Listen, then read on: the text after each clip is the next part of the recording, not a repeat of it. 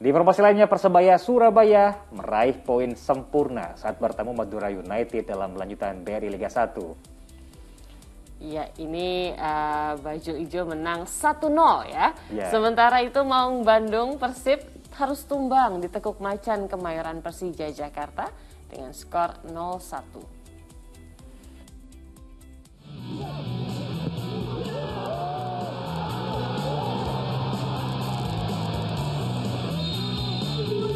Bermain di Stadion Manan Solo Sabtu malam, Persib Bandung sudah menekan Persija Jakarta sejak awal babak pertama dimulai. Tendangan bebas Mark Lok mengarah tepat ke gawang Persija, tetapi bisa ditepis penjaga gawang Andri Tani Adiasa. Tak lama kemudian sepakan Suparti juga gagal mengubah skor. Laga berlangsung alot. Kedua tim sama-sama kuat menjaga pertahanan masing-masing. Namun Dewi Fortuna berpihak ke Macan Kemayoran. Persija Jakarta unggul di injury time babak pertama berkat gocekan Rico Simanjuntak yang menusuk lewat sisi kanan kemudian melepaskan crossing ke kotak penalti. Simic menyambut bola tersebut dan menuntaskannya dengan sundulan. 1-0 untuk Persija Jakarta.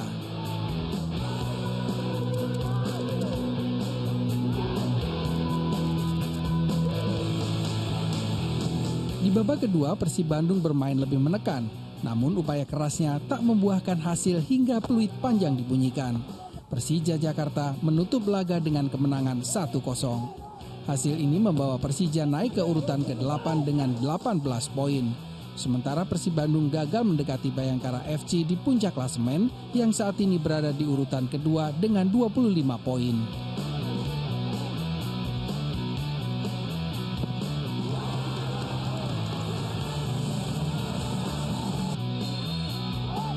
Sementara pertandingan sebelumnya di Stadion Maguwo Harjo antara kesebelasan Madura United dan Persebaya Surabaya saling ngotot dari babak pertama dimulai. Madura United sempat menguasai pertandingan di 20 menit pertama pertandingan, tapi belum mampu membobol gawang Persebaya. Kedua tim tak kuasa mencetak gol hingga turun minum. Babak pertama berakhir dengan skor kacamata 0-0.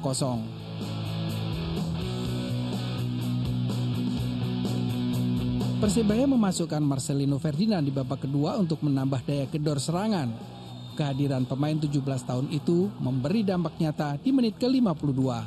Ferdinand dijatuhkan AC Berlian di kotak penalti saat mencoba menusuk lini belakang Madura United. Wasit langsung menunjuk titik putih untuk Persebaya.